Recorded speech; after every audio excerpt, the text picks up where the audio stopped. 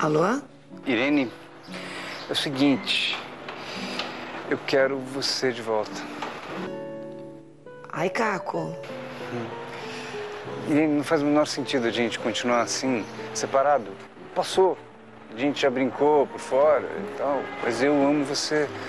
Não tem jeito, não. Caco, como é que você me liga assim, Caco, pela manhã, me fazendo uma declaração bombástica dessas? Eu sei que você não funciona muito bem de manhã. Eu queria te pegar desprevenida pra você dizer sim.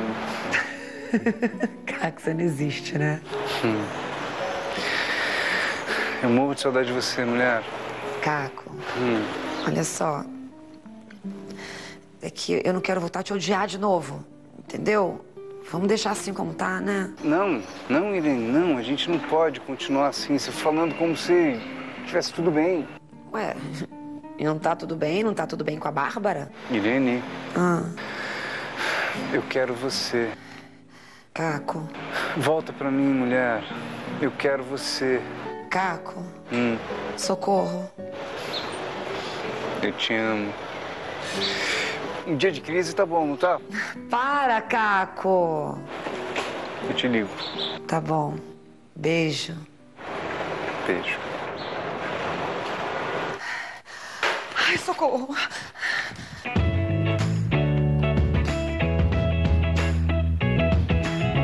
Ai, meu Deus. Como é que uma pessoa consegue escolher uma roupa depois de um telefonema bombástico desses?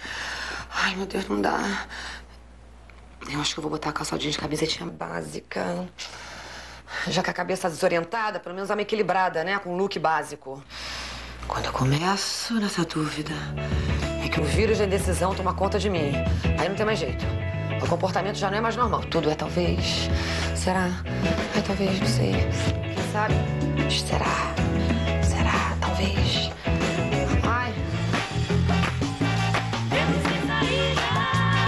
Lamo canadense, esse abacaxi, bene com camarão, espaguetine com filé mignon. Olha que delícia, gente, que dúvida. Ah, não, pedi uma salada. Salada verde com queijo brie, presunto com pedi uma salada.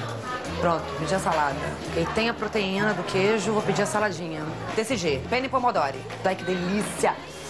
Moça, Pois não. Já escolheu? já, eu quero um profiteroles. Ah, moça, só, só um minutinho. Eu acho que vou trocar. Torta de limão. Tá, tudo bem. Acho que é melhor, torta de limão. Só isso mesmo? É, por enquanto só. Tá.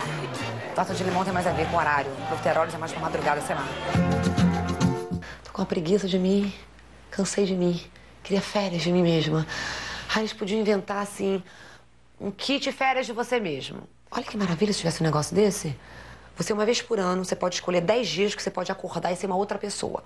Eu hoje, por exemplo, iria acordar um cachorrinho de madame. Acorda, vai pro pet shop, toma banhinho, volta de gravatinha, de lacinho na cabeça. Não precisa optar por nada, não precisa escolher nada.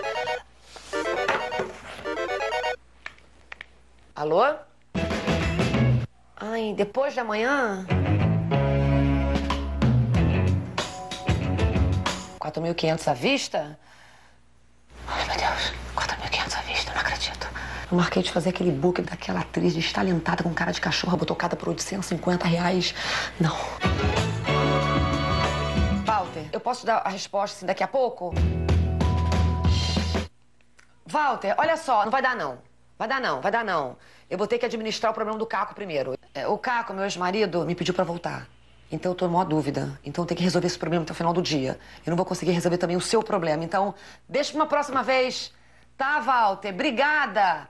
Vamos trabalhar juntos de novo, tá? Obrigada. Tchau. Perdi o cliente. Ai, meu Deus, eu falei besteira, Caco. Você me deve 4.500 reais.